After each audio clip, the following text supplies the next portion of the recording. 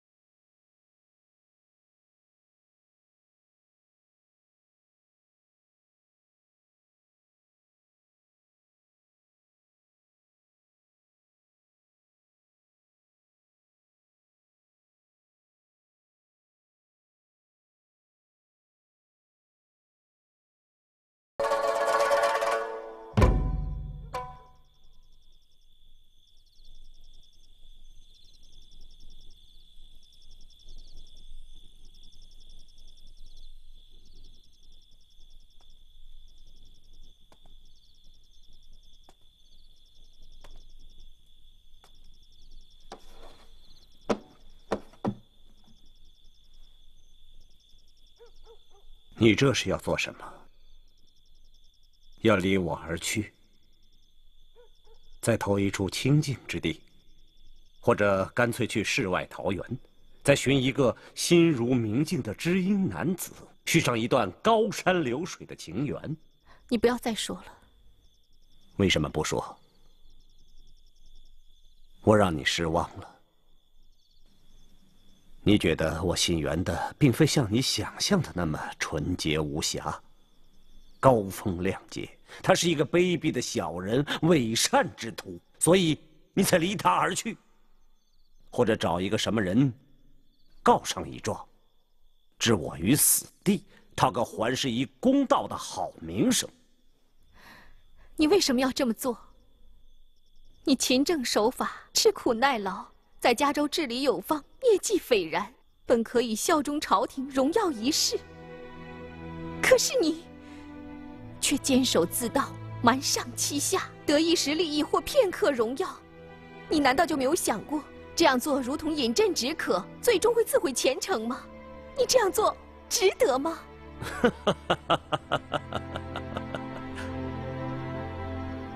子瑜。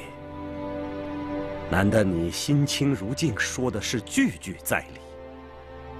换了别人，我也会慷慨激昂一番，说的也不比你差。我吃苦耐劳，忍辱负重，目的何在？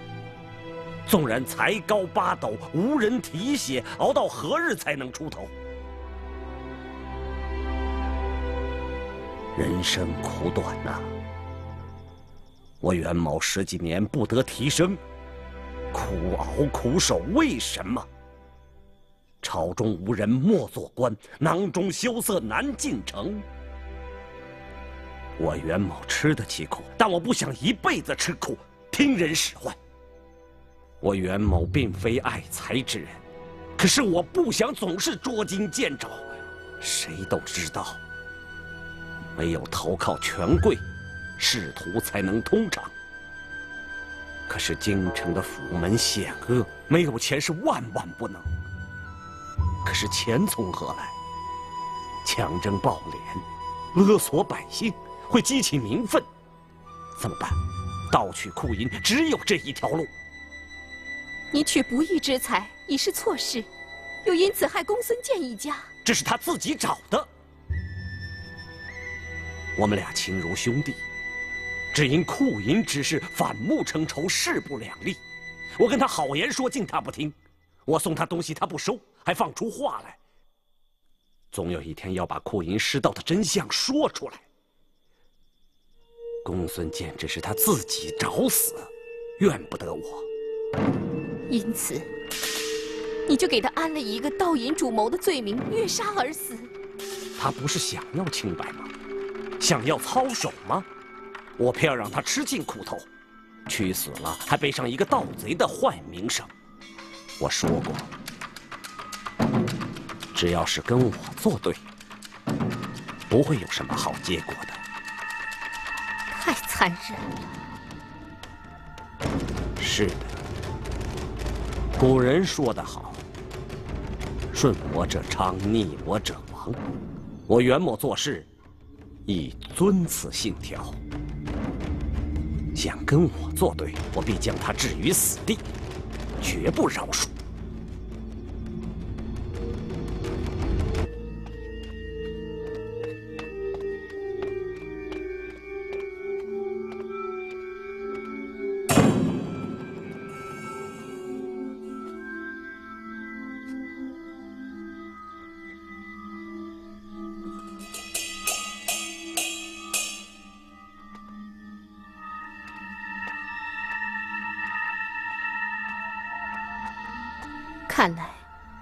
子玉也是在劫难逃了。看来，你果真要离我而去。我已经准备好了行装，打算永离是非之地，寻找一个安静的地方，苦度余生。就为这点事儿，你就心生绝念？不顾你我往日情谊，也不想再回头了。子玉，心灰意冷，覆水难收。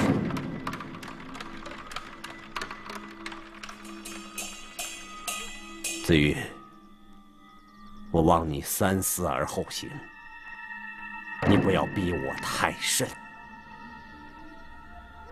是我逼你吗？哼！袁大人，你把自己说的太委屈了。紫玉不过是一个弹琴卖唱的小女子，如浮萍一般四处漂泊，无依无靠。本想寻找一棵大树寄托此生，谁知这棵大树的内心已枯朽不堪，行将倒塌。小女子还如何靠得？你错了。袁某的苦日子快过完了，用不了多久，我就鸿运高照，平步青云，仕途坦荡，前途无量。子玉呀，你跟着袁某，有享不尽的荣华富贵，你就不用再四处漂泊，再弹琴卖唱了。子玉虽是一弹琴卖唱的艺人，却心比天高。多年漂泊，只为寻得知音。相依相伴，荣华富贵非我本意，纸醉金迷，苟且偷生，虽生犹死。你这个女人，真是琢磨不定。早知今日，当初我就不该跟你。可悲。我子玉自视清高，却被一叶障目。如今陷入泥潭，看来已是不能自拔了。袁大人，你想怎样处置子玉？悉听尊便。看来你是铁了心了，想离开我。玉心已碎，何必再求瓦全？子玉，你真糊涂啊！我所做的这一切，完全是为了前途所迫，名利所累。自古以来，胜者为王，败者寇。你一个小小的女子，本来是局外之人，你为什么要这么认真，这么苛刻？不，不对。人活在世上，就应该活得坦荡，活得问心无愧。若为名利，为一己私利。而冒天下之大不韪，行不端之举，做歹毒之事。如此，虽得一时荣耀，片刻欢愉，却如同行尸走肉一般，虽生犹死。活在世上还有什么意思？不如住嘴！你这是在诅咒我！你骂我行尸走肉，你太过分了！你不要逼我，不得不做恩断义绝之事。那你就来吧，我等着你下手呢。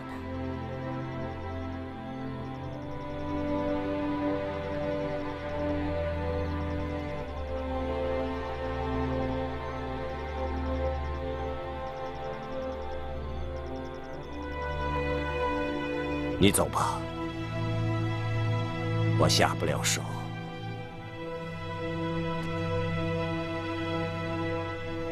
那我可就走了。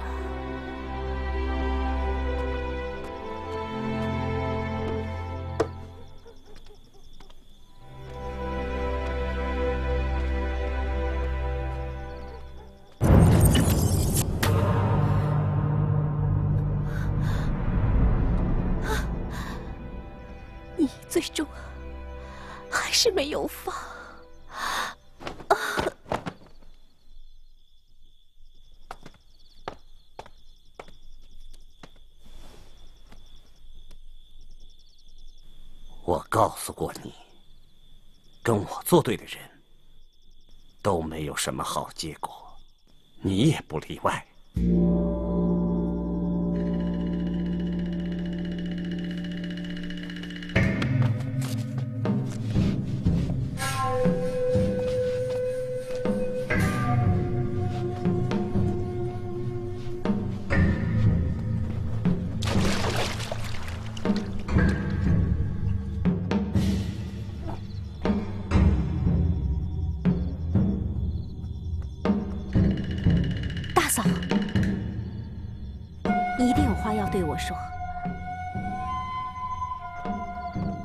知道，你是故意引我到这儿来的，你一定有话想要对我说，对吗？大嫂，我知道，你不是真疯。其实你心里比谁都清醒，你这是要掩人耳目，保全性命，以待时机为你丈夫报仇，对吗？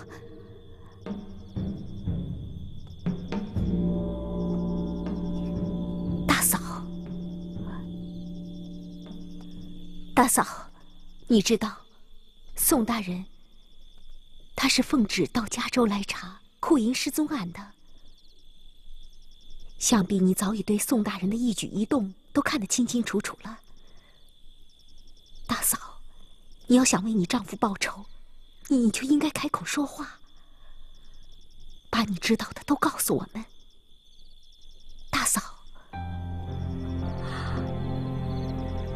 能对我们说吗？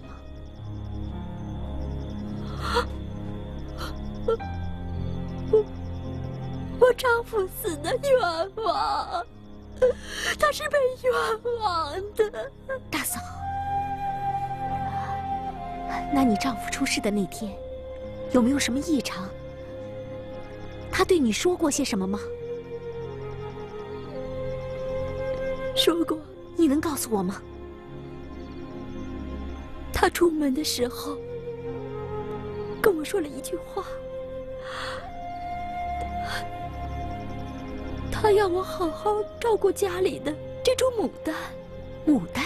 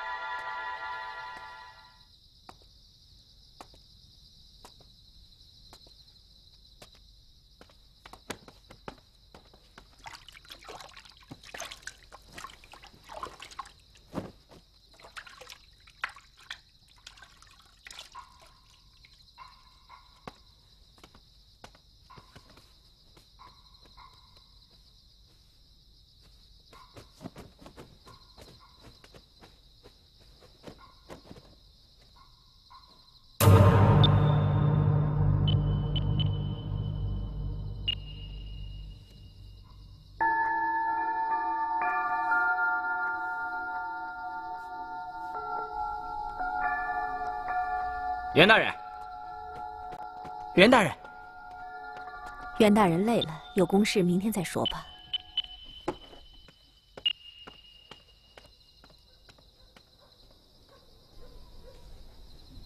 袁大人，京城来报，明日户部、吏部、御史台的几位大人一齐来加州，来验收那二十万两失而复归的库银。什么？户部、吏部、御史台的几位大人同时到加州，为那二十万两失而复得的库银。是的，请问大人，明日迎候之事该如何安排？明日我要大摆宴席，迎接从京城来的几位大臣。哈哈哈哈哈哈！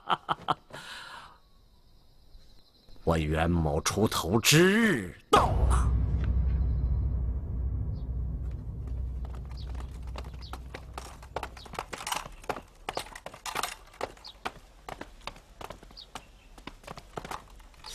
哎，大人，街上怎么没人呢？可能是到河边看热闹了吧。快走，晚了就赶不上好戏了。请请几位大人请。大人请。请。大人一路辛苦，这边。加州通判袁杰，恭迎几位大人。请起，请起吧。谢大人。加州知州范方何在？在，在，在。各位大人，卑职在。宣读一下诏书吧。加州知州范方通判袁杰，接诏。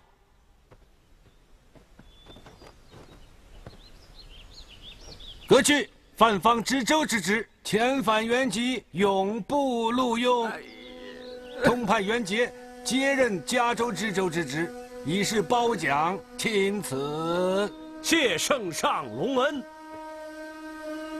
范方，谢谢恩！哈哈哈哈哈！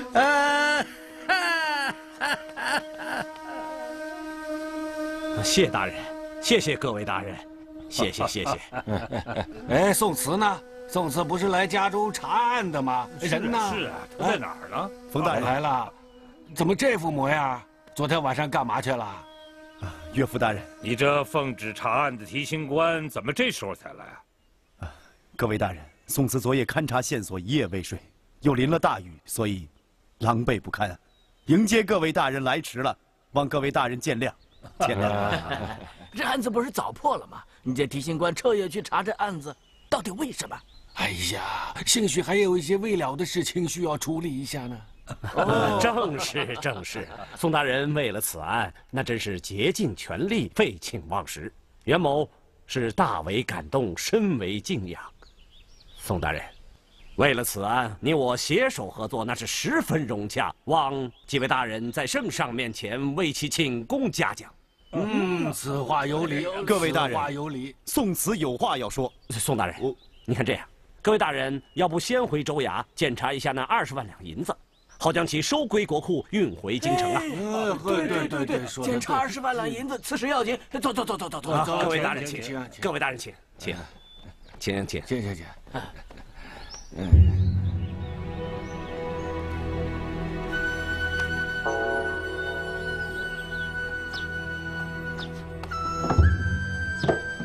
哎呀，太好了！哎呀，这二十万两银子。失而复得，了却了我多日的牵挂。哎呀，这下我悬着的心呐，今天总算放下来了。好，银子收回来了，国库充盈，国力强盛，圣上一定会十分高兴。袁通判，你任加州通判数年，治理有方，薛某早有耳闻，今日一见，果然是才学出众，品行上佳。好。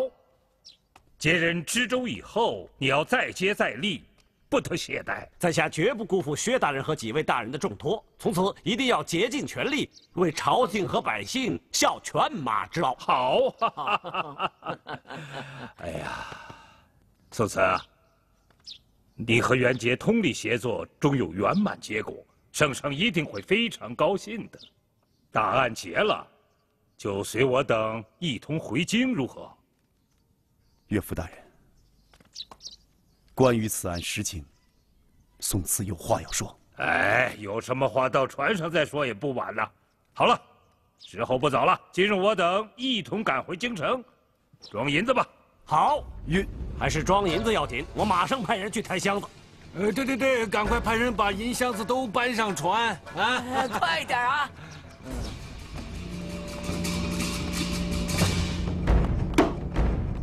慢，宋大人，你要干什么？各位大人，事到如今，宋慈只好实言相告了。宋大人，你不要让几位大人太扫兴，更不能让薛大人脸上太难堪了。既然你我是同科进士，你不看僧面也要看佛面。袁通判，我身为提刑，受命于皇上，岂可为了颜面不顾大是大非？各位大人，加州库银失盗一案，疑点多多。库银失盗一案，主犯公孙健身受酷刑被割舌而死。所谓犯方窝藏官银，那更是无稽之谈。袁大人，这二十万两银子真的是失盗那二十万两吗？此案疑窦丛生，跌宕起伏，恐怕袁通判袁大人也无法自圆其说。各位大人，此案有莫大的冤情，这是一个天大的阴谋。宋大人，你这话说的太危言耸听了吧？那你向几位大人说说，此案有什么冤情，又有什么阴谋？好，据袁通判程文所言，主犯公孙健勾结外道，里应外合，趁天黑一次性盗走官银二十万两，窝藏在这范方家中。试问，库银重地，那是有官兵把守的，既有盗贼，官兵何在？难道都是木偶泥胎？居然没有人受伤，也没有人报案。二十万两银子窝藏在府衙之地，难道这不是怪事吗？你们几个过来给我！哎哎，快点，快点！哎，啊，啊，快点给我挖！快点，快点！快挖，快挖！他这一说，倒是有些蹊跷啊。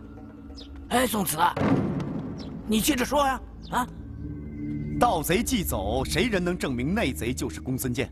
公孙健被捕入狱，严刑拷打，死去活来，而且被割掉了舌头，堵其喉管，使其发狂而起，自撞墙壁而死。试问，如果要是缉拿同党，那是要留下活口的，不但没有留下活口，而且割其舌，堵其喉，逼其自枪，是何用意？你胡说！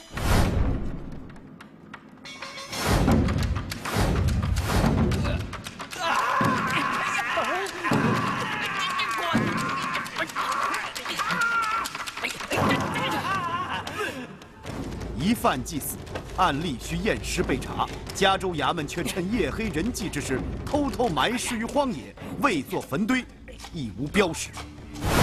多亏牧童窥见，才找到了公孙健的尸体。宋慈验过其尸，惨状令人发指。各位大人，这里有验状在此，请各位大人过目。竟有此事！袁大人，你说呢？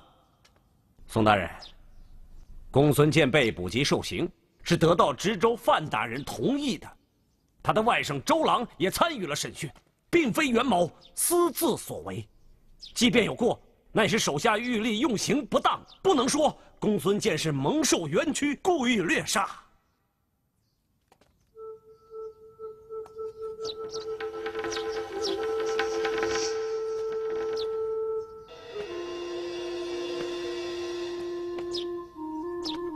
吴奎，在，可是这样啊？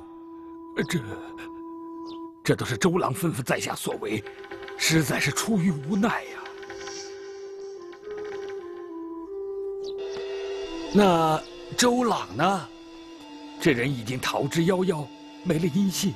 冯大人，周朗不过是个小角色，他不重要。公孙健的冤情，该由他妻子来作证。来，带公孙期。哎，这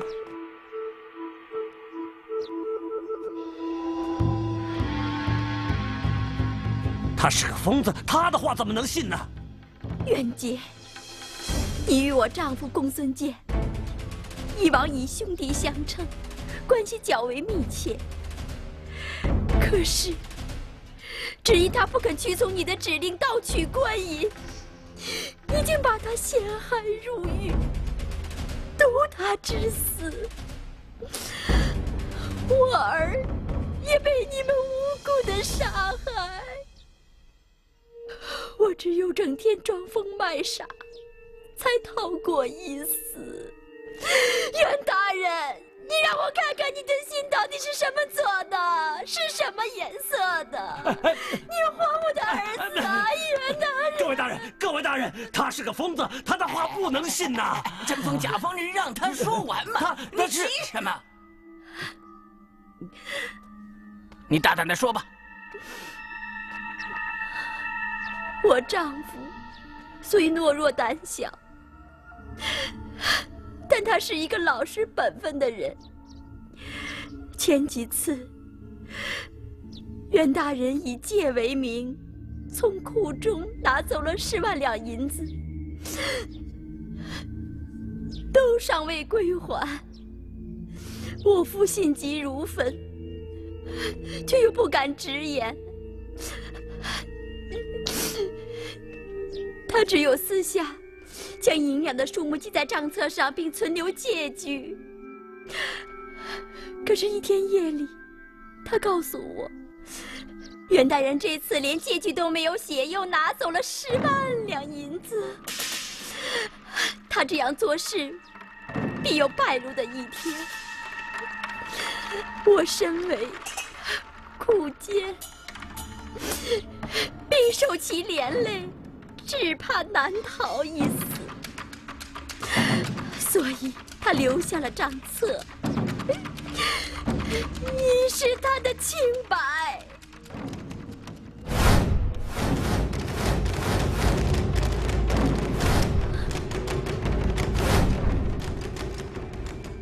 我夫的话，不幸又被言中。那天，吴捕头突然登门。说袁大人请他去东城某处，有要事相商。我夫心有疑惑，可是，在胡捕头的再三催促下，他不得不随其出门。临走时，他对我说了一句话：“官人。”官人，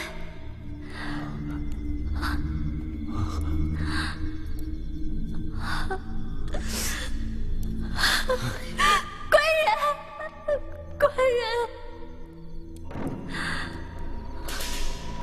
快要下雨了，你要好好照顾院子里这株牡丹花。官人，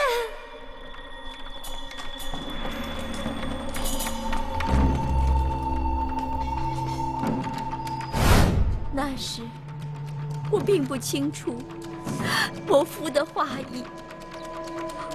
后经宋大人手下提醒，从我家那株牡丹下面挖出了他埋于地下的账册。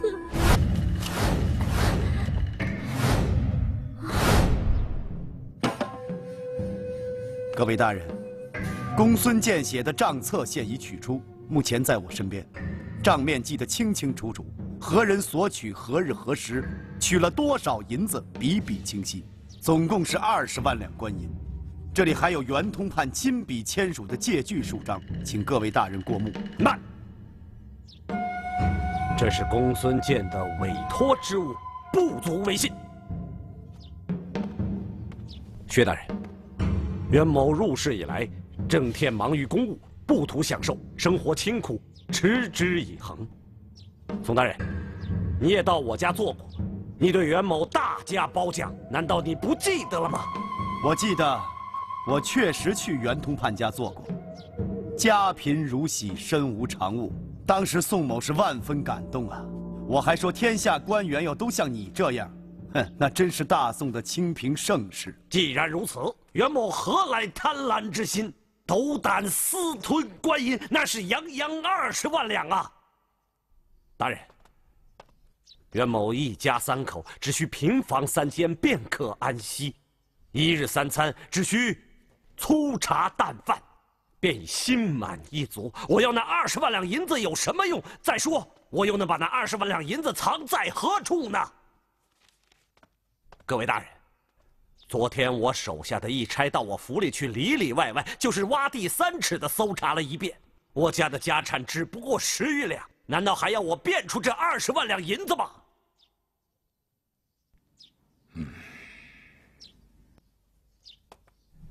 宋慈啊，我觉得你这个宋提刑查案查的有点奇怪。明明范芳那儿查出来二十万两银子，你却说那不是赃银。而袁杰家徒四壁，你却说他藏了二十万两银子，这话怎么说呢？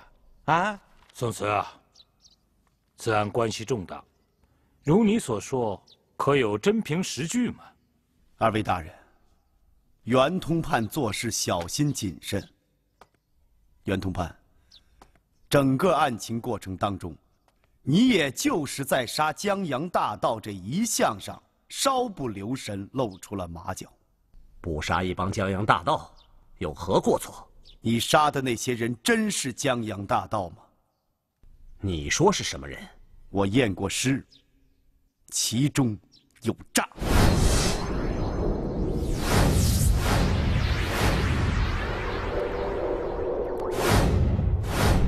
经仔细检验，那几个被杀之人脚底板宽大如扇，脚趾散开，且有厚厚的老茧，这说明是常年站立船板所致。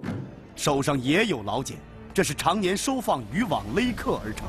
所以说，那几个所谓的江洋大盗，不过是几个老实巴交的渔夫罢了。胡捕头何在？宋大人，你枉杀无辜，该当何罪？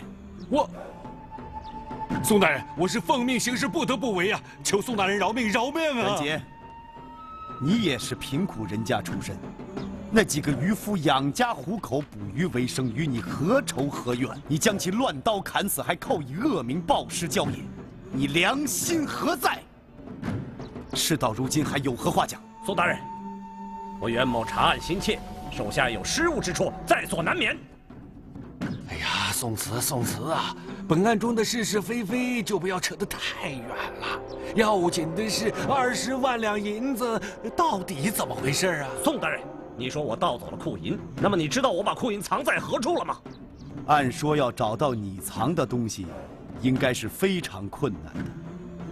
但是无独有偶，巧得很，我还就是在加州找到了你藏匿的银箱。你胡说，袁杰。我曾经对你说过一句话：“若想人不知，除非己莫为。”虽然你做事谨慎，但难免百密一疏，功亏一篑。各位大人，你们这次来加州不是要收取官银吗？巧的是，宋慈在加州某处也收取到一批官银，咱们一块儿送回京城，岂不更好？真有此事？哎呀，宋提刑说有，想必就有啊。能多收些官银，这不是更好吗？啊！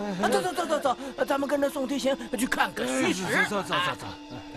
哎，走走走。袁大人，是你在前面带路啊，还是在后边跟着呀？既然宋大人说有，当然是你在前面带路，我在后面跟着，只是看看热闹罢了。好，各位大人，请。啊，请。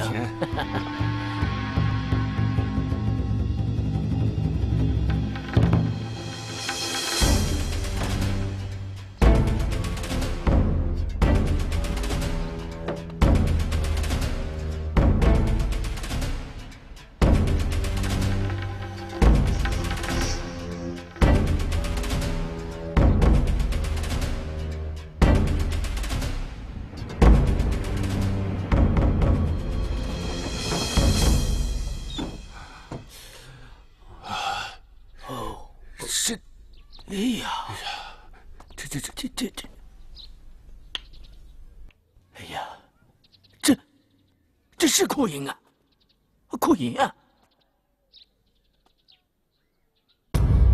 这十二个箱子，约有十万两吧？袁大人，你说，这银子哪来的？而且用的都是库银的专用箱子，快说！各位大人，在下实在不知道这里会藏这么多的银子，或许。哎，或许宋大人会知道这些银子从何而来呀？袁大人，这银子你不想要了吗？这可是你煞费苦心得来的官银呐！我从来就没来过这儿，宋大人此言真是无稽之谈。袁大人，难道你不认识这个院子了吗？这不是你和卖唱的子玉租的后宅，你们俩在这互诉衷肠，你总该记得吧？哼，真是无中生有。我从来不认识什么弹琴卖唱的女子，我家有贤妻，哪来的什么相好呢？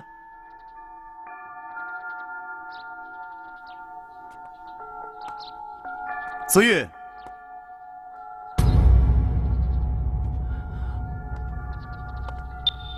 子玉，你听到这个男人这样说话，恐怕更寒心了吧？子玉，你你还活着？